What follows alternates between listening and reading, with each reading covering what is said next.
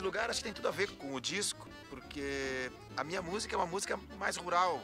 É, é, ela tem, assim, arranjos modernos que talvez puxem para o urbano algumas coisas, mas a, a essência, a raiz, a, a, o princípio, a base de tudo é, é o campo. Essa relação do, do, do gaúcho, do homem do campo com, com a terra. Poder fazer isso aqui realmente com esse visual todo, com essa, com essa natureza toda e voltar ali recarrega as baterias, por mais que a gente se canse, né, é, é carga rápida, cinco minutinhos depois a bateria tá cheia de novo.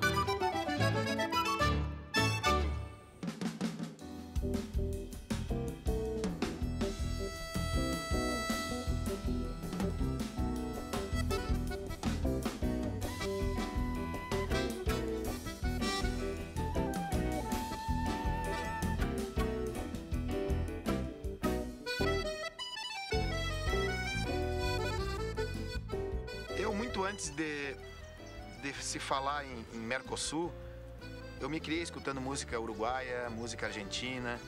E, então eu acho que é, essa, essa integração, que hoje é uma, uma realidade é, formal, já, é, já existe entre, entre a gauchada, o gaúcho, el gaucho, todos de bombacha. Então eu, os ritmos uruguais e argentinos estão muito presentes no, no, meu trabalho e nesse disco. Seja através de um, de um candomblé uruguaio, através de, uma, de uma chacareira, de uma zamba argentina e do, do nosso shot, do nosso vaneirão, né?